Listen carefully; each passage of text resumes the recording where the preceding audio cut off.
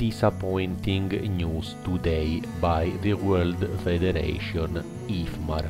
The World Championship 1/8 scale Nitro Buggy in Brazil is cancelled. The World Championship 1/10 scale Nitro in Australia is cancelled. In medium or better news, the World Championship 110 scale electric touring in Gubbio, Italy is postponed until after the summer. The Dirt GP event by Nemo Racing at Nemo Raceway UK is postponed until May. Drake with Mugen wins at Thunder Alley USA in South America X-Ray success with Bregante in Nitro and Electric 1/8 scale buggy and with Alberdi in Nitro Traggy.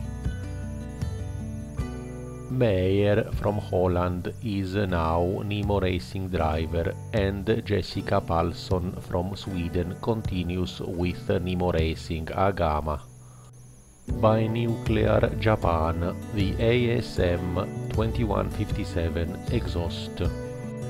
The very aggressive and good-looking Nitro Traggy by Agama, the A215T.